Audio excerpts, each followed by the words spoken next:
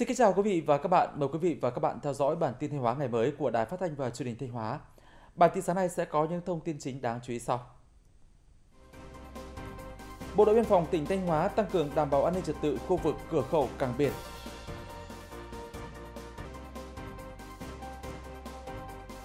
Chủ động phòng chống cháy nổ tại cảng và âu neo đậu tàu thuyền trong dịp Tết.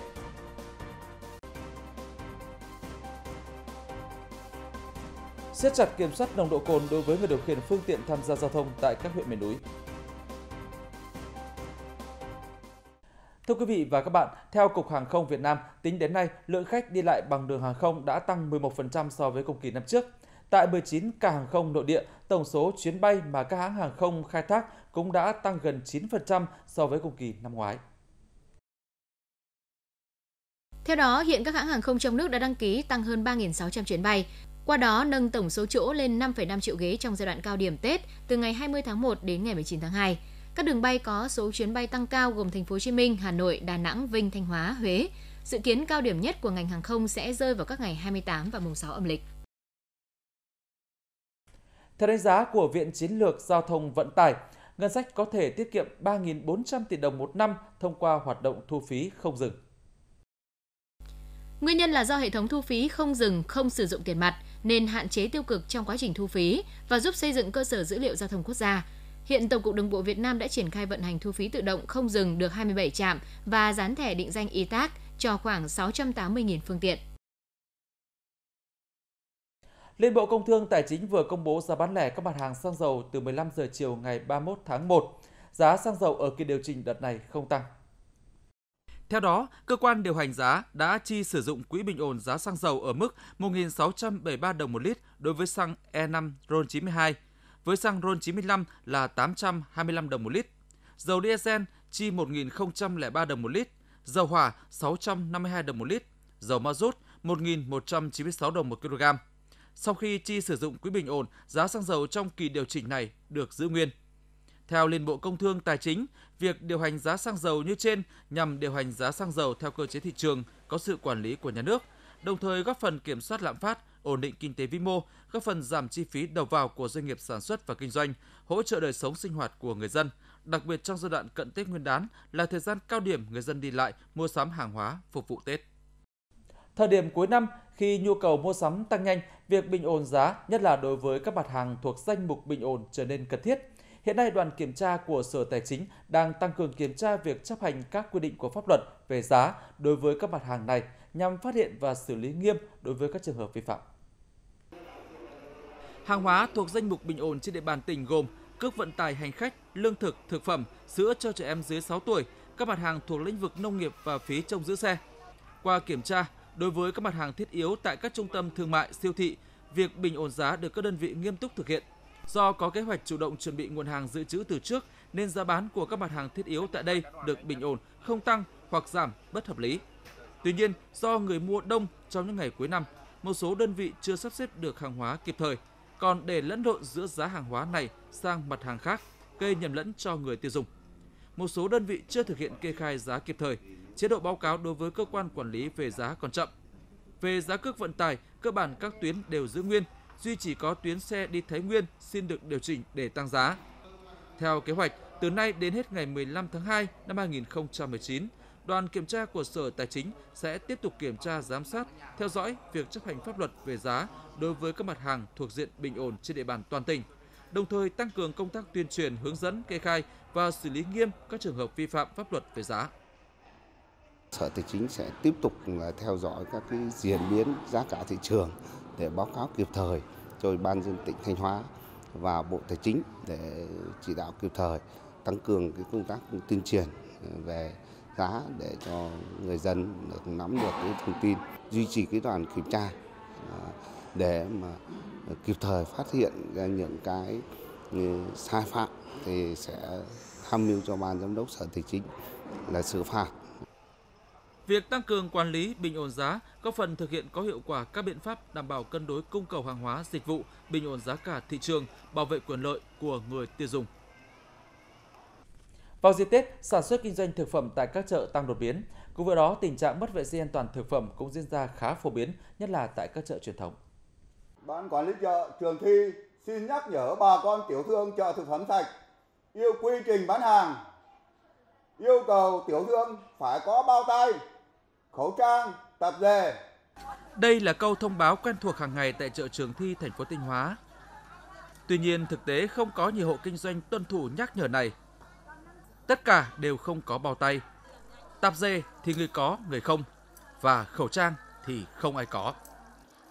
Có một số tiểu thương là khi mà nhắc nhở nhưng mà khi người ta bán hàng nếu mà dùng bao tay á, là rất thao tác ờ, thao tác ờ, rất khó, nhất là trong những lúc đông khách thì ờ, ban ờ, quản lý ờ, chợ vẫn nhắc nhở bà con nhưng mà bà con bảo thôi thông cảm cho bọn tôi một tí.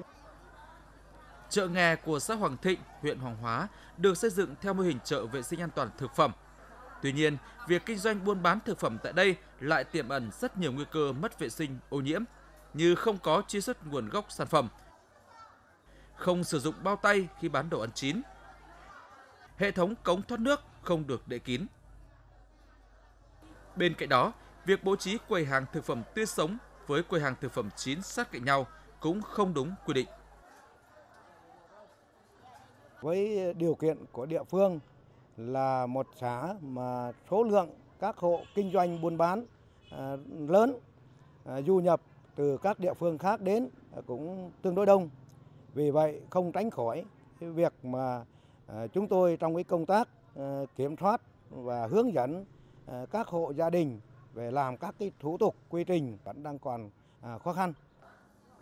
Tuyên truyền nhắc nhở là hai biện pháp được nhắc đến nhiều khi nói về công tác đảm bảo vệ sinh an toàn thực phẩm. Tuy nhiên, kết quả thì lại chưa có nhiều thay đổi. Việc thực hiện của người dân thì cũng đang cũng chưa được như kỳ vọng.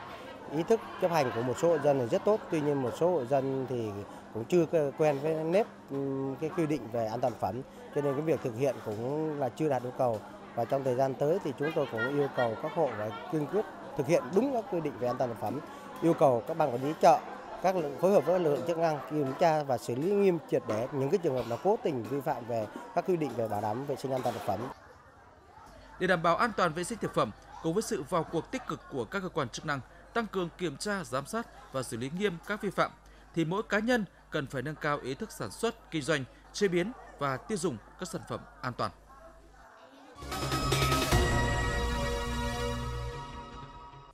Thưa quý vị và các bạn, vào những ngày giáp Tết Nguyên đán kỷ hợi, tại các khu vực cửa khẩu và cảng biển, lưu lượng người phương tiện hàng hóa làm thủ tục lưu thông tăng cao. Theo đó, các trạm kiểm soát của cửa khẩu Bộ đội biên phòng tỉnh Thanh Hóa đang tăng cường công tác đảm bảo an ninh trật tự, tạo điều kiện thuận lợi cho giao thương hàng hóa. Cửa khẩu quốc tế Nam Mèo những ngày giáp Tết. Người, phương tiện, hàng hóa qua lại tăng cao hơn rất nhiều so với ngày thường. Đây là thời điểm các loại tội phạm lợi dụng để hoạt động, làm phức tạp tình hình an ninh trật tự trên địa bàn. Trước tình hình trên, đồn biên phòng cửa khẩu quốc tế Nam Mèo đã tăng cường lực lượng phương tiện kịp thời giải quyết tốt công tác xuất nhập cảnh, xuất nhập khẩu, tạo điều kiện thuận lợi để hàng hóa, phương tiện nhanh chóng lưu thông và nhân dân đang làm ăn sinh sống bên nước bạn kịp về quê đón Tết hay đi nhiều nên là cái công việc đi lại giờ các hai cửa khẩu nhất là bên cửa khẩu biên phòng Việt Nam mình ờ, rất là giúp đỡ về thủ tục hành, hành chính để đi lại rất thuận tiện. Để có những hôm bọn em quá giờ để bên cửa khẩu rất linh động về cái thời gian đó ờ, nên là nói chung là thủ tục rất là nhanh chỉ một một chớp khoảng vài phút là đi được thôi. Bên cạnh đó, Bộ đội biên phòng tăng cường phối hợp với lực lượng công an cửa khẩu Nậm Sôi, Lào tổ chức tuần tra kiểm soát khu vực hai bên cánh gà tiếp giáp cửa khẩu phối hợp có hiệu quả trong đấu tranh phòng chống tội phạm, nhất là các loại tội phạm về buôn lậu, gian lận thương mại, ma túy, pháo nổ. Trong dịp uh, chuyển của Tết Việt Nam, chúng tôi đã phối hợp với uh, bộ đội biên phòng Việt Nam đi tuần tra canh cả khu vực biên giới hai bên tạo điều kiện cho nhân dân Việt Nam đang sinh sống ở bên Lào về quê ăn Tết cho đúng quy định hai bên. Tại cửa khẩu cảng Nghi Sơn, các cán bộ chiến sĩ biên phòng đang triển khai đồng bộ các mặt công tác nhằm đảm bảo an ninh trật tự để nhân dân trên địa bàn vui xuân đón Tết bình yên. Trong cái dịp à, giáp Tết thì chúng tôi đã phân công đến từng tổ xuống địa bàn ít nhất là mỗi địa bàn có từ 3 đến 5 đồng chí xuống phối hợp với à, công an xã và chính quyền địa phương là bám nắm tình hình địa bàn và đối với các trạm thì chúng tôi sẽ cho cano hoạt động 24 trên 24 ở các vụng tuần tra kiểm soát chặt chẽ các phương tiện ra vào khu vực vụng và sẽ không để cho cái tình trạng là đốt pháo nổ đèn trời và nổ mìn trong cái dịp Tết Nguyên đán.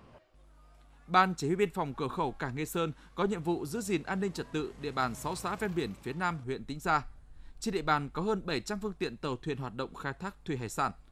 Do tập quán của người dân nơi đây, nhất là ngư dân, cứ vào đêm giao thừa, đầu năm mới, một số ngư dân vẫn sử dụng mìn tự chế để đốt nổ trên biển cầu may. Trước Tết Nguyên đán kỷ hợi 2019, Đảng ủy, Ban Chỉ huy biên phòng cửa khẩu Cảng Nghê Sơn đã tăng cường công tác phối hợp với chính quyền địa phương và các lực lượng chức năng trên địa bàn để mạnh công tác tuyên truyền cho nhân dân.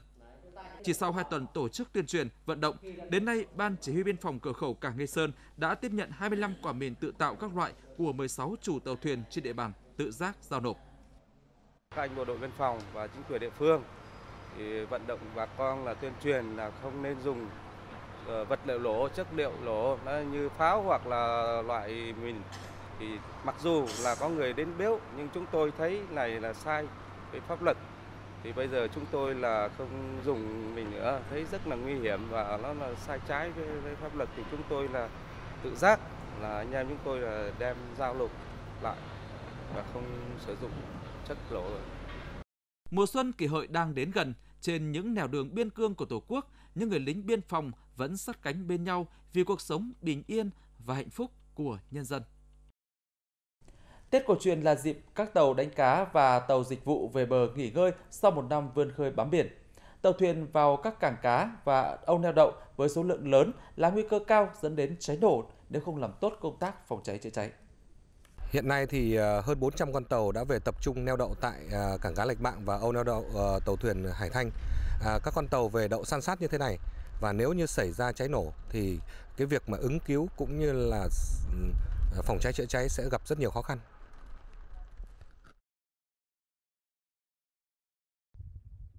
Cảng cá Hải Bình, những ngày cận Tết Nguyên đán Khoảng 150 tàu cá có công suất trên 90 CV tập trung về đây. Các chủ tàu đã về nhà chuẩn bị đón Tết. Chỉ còn những người làm dịch vụ trông coi tàu ở lại. Bình ga và những vật liệu dễ cháy đã được di chuyển khỏi tàu. Không được đun nấu trên tàu. Chỉ sử dụng điện từ máy phát khi cần bơm nước khỏi tàu. Việc đối là không bao giờ dưới ghe không có hạn chế là nấu nướng, không có nấu nướng gì hết. Anh em xuống mà trông coi tí không có điện của nhà nước và là anh em chỉ nổ máy tiếng, anh em trông coi nổ máy tí một vài tiếng vào là tắt đi ngủ là tắt rồi. Để hạn chế tác nhân gây cháy nổ, trong thời gian tàu thuyền tập trung về cảng neo đậu, Ban Quản lý Cảng cá Hải Bình, huyện Tĩnh Gia không cung cấp điện cho các tàu. Công tác tuyên truyền nhắc nhở được thực hiện thường xuyên nhằm nâng cao ý thức cho các chủ tàu và người trông coi. Khi đưa tàu vào cảng, các chủ tàu phải ký cam kết với ban quản lý cảng về việc tuân thủ các quy định về phòng cháy chữa cháy và không đốt pháo hay sử dụng vật liệu nổ trong dịp Tết Nguyên đán. Phương án phối hợp giữa ban quản lý cảng và các lực lượng liên quan khi có tình huống xảy ra cũng được xây dựng. Phối hợp với chính quyền địa phương, rồi cũng như là công an huyện Tĩnh Gia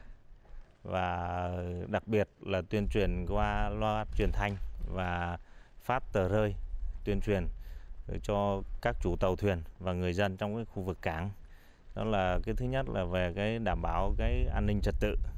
rồi cái công tác vệ sinh môi trường phòng chống cháy nổ trong đó đặc biệt là cái công tác phòng chống cháy nổ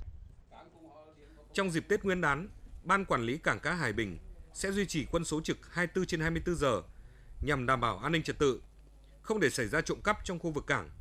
và kịp thời nắm bắt tình hình, xử lý các tình huống đột xuất để ngư dân yên tâm vui xuân đón Tết. Với mong muốn mang hương vị Tết cho trẻ em nghèo vào những ngày cuối cùng của năm, hàng nghìn đoàn viên, học sinh, sinh viên, thanh niên tình nguyện đến từ các cơ sở đoàn của huyện Quảng Sương đã tham gia tuần lễ Ngày hội tuổi trẻ hướng về quê hương, gói bánh trưng tặng trẻ em nghèo. Ngay từ chiều ngày 26 Tết, gần 200 đoàn viên thanh niên tình nguyện xã Quảng Lưu đã có mặt tại khuôn viên trường mầm non xã để cùng tham gia gói hơn 300 chiếc bánh trưng tặng trẻ em nghèo trong tuần lễ Ngày hội tuổi trẻ hướng về quê hương do huyện đoàn Quảng Sương phát động. Đối với em thì những chương trình như thế này, em cảm thấy rất là ý nghĩa và thì ờ, bọn em thì luôn luôn là hưởng ứng cái công việc này ờ, những hoạt động như thế này ờ, vô cùng là nhiệt tình thì nó cho bọn em cảm giác là mình đã có một phần công sức của mình vào việc hỗ trợ, giúp đỡ xây dựng quê hương. Bằng nguồn quỹ vận động được từ các tổ chức cá nhân, những ngày này, các bạn đoàn viên thanh niên của xã Quảng Thái cũng đang tất bật gói bánh trưng để tặng cho các em nhỏ có hoàn cảnh khó khăn trong xã. Đối với cá nhân mình ấy, thì mình cảm thấy rất là vui khi mình giúp đỡ được rất nhiều các em học sinh nghèo, mà đặc biệt là các em học sinh nghèo vượt khó. Ngày hội tuổi trẻ hướng về quê hương là hoạt động từ thiện nhân đạo do huyện đoàn Quảng Sương phát động từ năm 2013. Từ một đơn vị thực hiện thí điểm ban đầu, đến nay đã có 17 xã đoàn tham gia hưởng ứng chương trình. Nhờ có sự chuẩn bị kỹ lưỡng từ nhiều tháng trước, dịp Tết Nguyên đán năm nay sẽ có hơn 1.000 chiếc bánh trưng được trao tận tay trẻ em nghèo. Chương trình này á, mà duy trì được hàng năm thì trước hết là lỗi về công tác tuyên truyền. Phải làm tốt công tác tuyên truyền từ đầu năm. Và cứ hàng năm thì qua nhiều cái kênh thông tin như là mạng ờ, xã hội này, Facebook này, rồi nhiều cái kênh hoạt động khác tuyên truyền làm sao mà đoàn viên từ các nơi đi làm ăn xa có thể gắn kết về trong một ngày để mà tổ chức cái chương trình này. Với cái mục đích ý nghĩa sâu sắc như vậy thì trong năm 2019 và những năm tiếp theo thì huyện đoàn cũng sẽ nhân rộng các cái mô hình à, điển hình tiêu biểu và đồng thời là tiếp tục phát động để đưa đến ờ, một cái Tết ấm áp hơn dành cho các trẻ em học sinh nghèo. Việc duy trì tuần lễ Ngày hội tuổi trẻ hướng về quê hương vào mỗi dịp Tết của huyện đoàn Quảng Sương đã tạo cơ hội cho các đoàn viên thanh niên tham gia các hoạt động vì cộng đồng, giúp cho nhiều trẻ em nghèo có một cái Tết ấm áp hơn.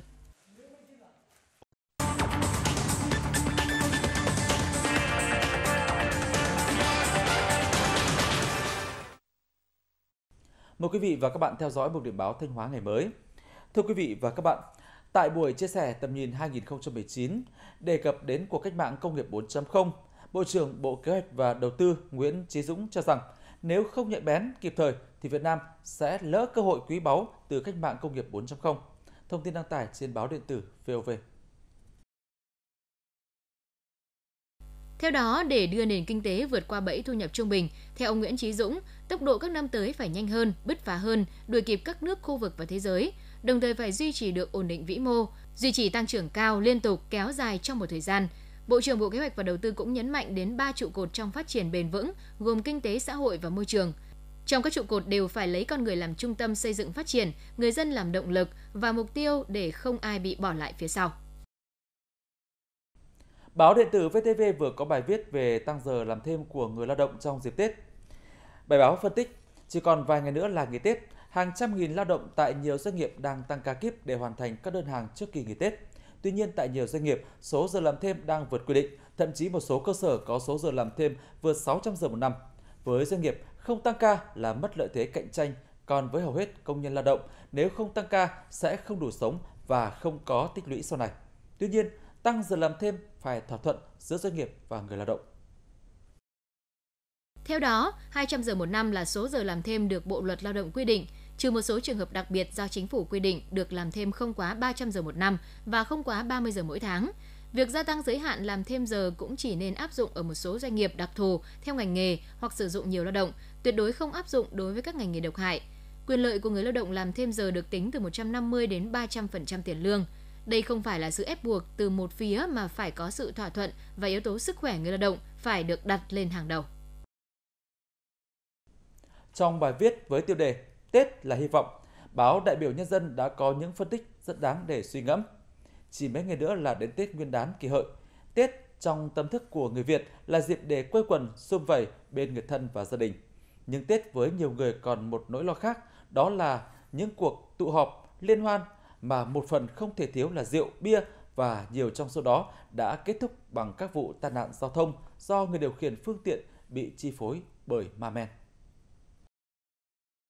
Bài viết hy vọng rằng trong 9 ngày nghỉ Tết Nguyên đán sắp tới, mỗi người đều sẽ kịp dừng lại đúng lúc trong mỗi cuộc vui, kịp nhắc nhở bản thân, Tết nghĩa là sum vầy, là hy vọng, không phải chỉ cho chính mình mà còn cho người thân và cho cộng đồng, để không tặc lưỡi uống thêm dăm ba chén rượu, vài ngụm bia. Nhưng để thực sự kiểm soát được tác hại của rượu bia, xây dựng được văn hóa uống an toàn lành mạnh, uống có trách nhiệm thì cần có thêm nhiều ý kiến được đưa ra thảo luận rộng rãi, thận trọng, thấu đáo để có thể có một dự luật phòng chống rượu bia thật chặt chẽ và khả thi trình Quốc hội tại kỳ họp thứ 7 sắp tới. Tết Nguyên đán kỷ hợi 2019 đang đến rất gần với mỗi người dân Việt. Tết là niềm hân hoan của người này nhưng cũng là nỗi buồn của người khác, đặc biệt với những người con xa xứ. Trong bài viết với tiêu đề về quê ăn Tết, con đường đẹp nhất của cuộc đời, báo Tuổi Trẻ đã có bài chia sẻ rất xúc động của một người dân miền Tây hiện đang sống tại Bắc Âu xa xôi lạnh giá. Những ngày này, khi màu của Tết, mùi của Tết đã tràn ngập mọi nẻo đường Việt Nam, tôi lại buồn vì đường về quê xa quá.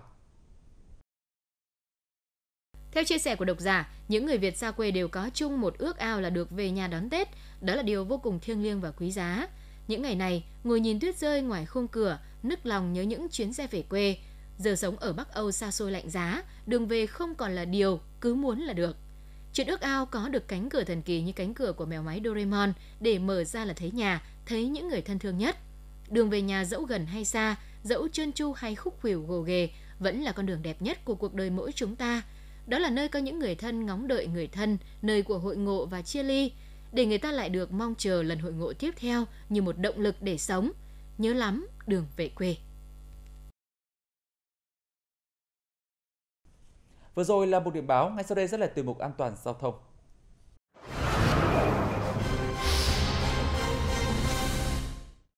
Thưa quý vị và các bạn, thống kê của Cục Cảnh sát Giao thông Bộ Công an, trong năm 2018, trên toàn quốc xảy ra 417 vụ tai nạn giao thông do vi phạm nồng độ cồn, chiếm 3,12% tổng số vụ tai nạn giao thông xảy ra. Vào dịp lễ Tết thì số vụ tai nạn liên quan đến rượu bia lại có dấu hiệu gia tăng, nhất là ở khu vực miền núi. Quan Sơn là huyện miền núi có đông đồng bào dân tộc, với tập quán giao lưu sinh hoạt đều sử dụng đến các loại đồ uống có cồn nhưng vẫn tham gia giao thông nên đã có rất nhiều vụ tai nạn xảy ra. Chính vì vậy, để ngăn ngừa kiềm chế tai nạn do người điều khiển phương tiện sử dụng rượu bia tham gia giao thông, Ban an toàn giao thông huyện Quan Sơn đang đẩy mạnh tuyên truyền, đồng thời xử lý nghiêm trường hợp người điều khiển phương tiện tham gia giao thông vi phạm nồng độ cồn. Giao cho chính quyền cơ sở 13 à, xã, thị trấn à, xây dựng kế hoạch để tuyên truyền cho nhân dân ở địa bàn mình thực hiện tốt cái việc à, uống rượu bia trước trong và sau Tết và đặc biệt là khi uống rượu bia thì không tham gia giao thông. Thực hiện các kế hoạch cao điểm của giám đốc công an tỉnh thì ông đã huy động tối đa lực lượng cảnh sát giao thông, cảnh sát trật tự, công an các xã thị trấn tập trung xử lý đối với các trường hợp vi phạm sử dụng rượu bia khi giao thông. Được biết, không chỉ huyện Quan Sơn đang tăng cường kiểm tra xử lý người điều khiển phương tiện sử dụng rượu bia tham gia giao thông, hiện nay lực lượng chức năng ở 11 huyện miền núi của tỉnh đều đã đồng loạt ra quân kiểm tra kiểm soát xử lý vi phạm nồng độ cồn. Tuy nhiên với tập quán sinh hoạt sử dụng loại đồ uống có cồn như hiện nay của người dân để ngăn chặn triệt để vi phạm không thể chỉ ngày 1, ngày 2. Vì vậy, các tổ chức ban ngành đoàn thể cần tiếp tục tuyên truyền hậu quả của việc sử dụng các chất kích thích khi tham gia giao thông, để từ đó thay đổi thói quen của người dân. Bên cạnh đó, lực lượng thực thi pháp luật cần tăng cường kiểm soát, thường xuyên kiểm tra, xử lý nghiêm những trường hợp vi phạm. Bản tin theo ngày mới sáng nay xin được kết thúc tại đây. Cảm ơn quý vị và các bạn đã quan tâm theo dõi.